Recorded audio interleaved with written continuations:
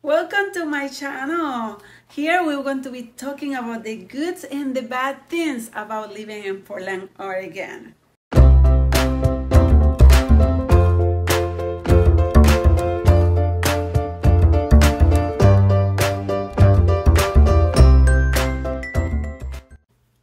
Let's start it. My name is Liz Marshall with Premiere Property Group, your local real estate broker licensed in the state of Oregon.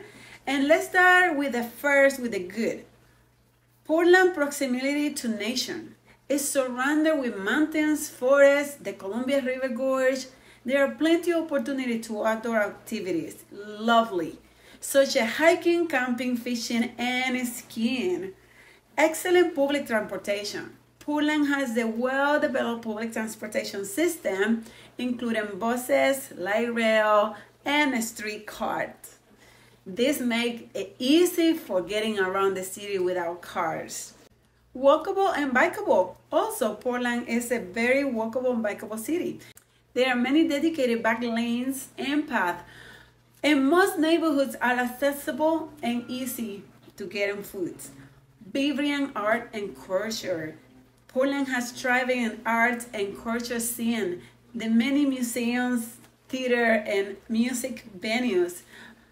Friendly and welcoming people. That is the number one reason why I decided to move here 10 years ago.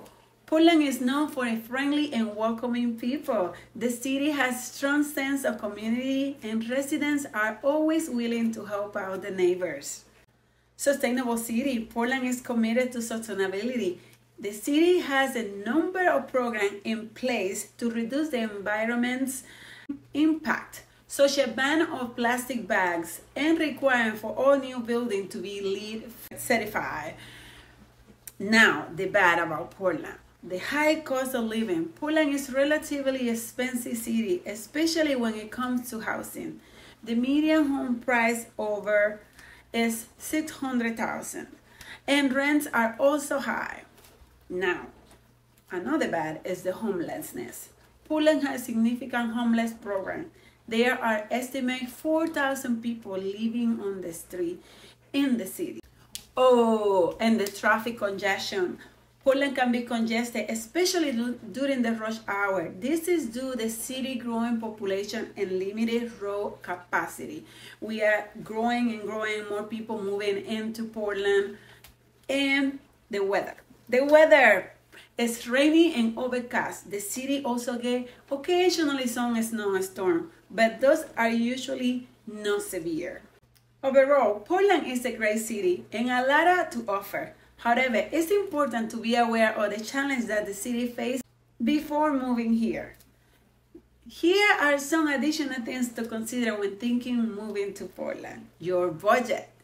The cost of living in Portland is high, like I mentioned before, so it's important to make sure that you can afford living here. Your job prospective. The job market in Portland is competitive, so it's important to have a plan for finding a job before you move. Your lifestyle.